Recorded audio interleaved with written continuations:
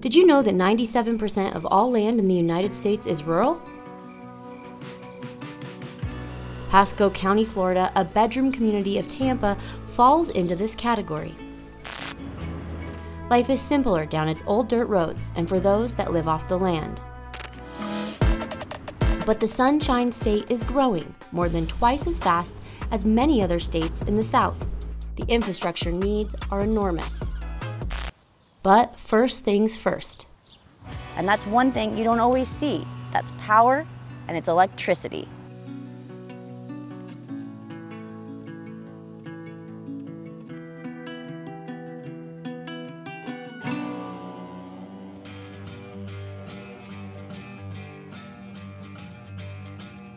So the project we're on now, we're rebuilding five 69 kV circuit lines, one 115, and then we're adding an additional 230,000 volt line as well.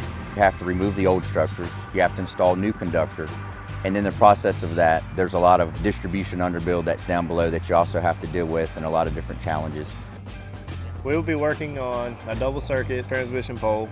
It's 85 feet out of the ground on a 69 kV line. So today we will we'll stack the pole, jack the pole.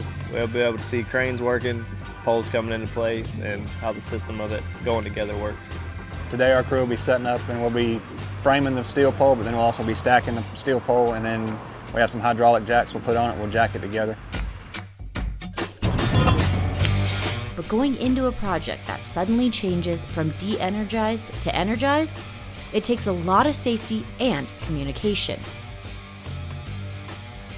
It was originally scoped to do it de-energized, and there was a sequence already set in place to do that. Not long after we started the project, we started realizing that that capability was not going to be possible. We had to take a step back, resequence the whole project. With the help of Service Electric, you have to have additional manpower, special skill sets, but we were able to work through it and work through the challenges with no issues. Our safety program is actually called the capacity model. Employees are probably our most valuable asset that we have, and so we do whatever we have to do to protect them. Even if something happens, something goes wrong, you put enough capacity in there, if you do fail, you fail safely, as we call it. I'd probably say the most challenging part of it is we were starting in a new section of the job and we were changing out the eight structures and they were energized and we were installing new mono poles. Not with the eight structures, we had been doing old wood poles and what have you and they were all vertical. Well now we're taking horizontal construction. We are using our hot arms, our robo arms, and we're rolling everything vertical and rolling it energized. So it was a challenge. It's an adrenaline rush.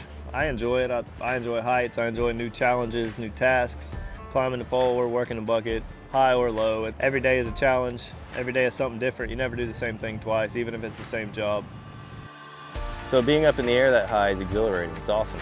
It's a whole different world up there.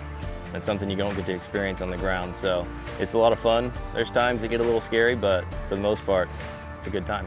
The crack crew of NECA IBEW linemen and women are about halfway complete with this job, about 15 miles to go.